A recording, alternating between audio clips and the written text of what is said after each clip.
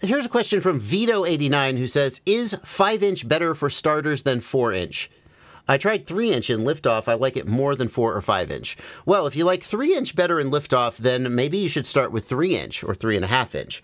Um, 5 inch, I would, I would tell a beginner to choose either 3 or 3.5 inch or 5 inch, but not 4 inch. And the main reason for that is that there are very few 4 inch builds out there. The motors are in this weird place where, like, you'll typically see a 4 inch build with like 2004 motors or one of the T mount motors. Uh, and, and those motors are right at the very top of what is used with T mount props. And they have very thin sh- motor shafts uh, I don't mean the shaft that goes into the prop, but literally the shaft that goes down through the bearing.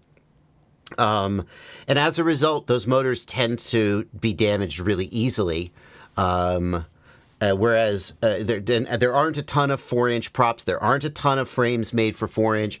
It's just this weird no man's zone where you might as well just go with five inch. So I would say um, Four inches can be really fun, but you will have a lot more choice in equipment, and your equipment will be a lot more durable if you go down to three or three and a half or up to five. Four inches is in a weird place where you really have to want it. I don't think it should be your first build.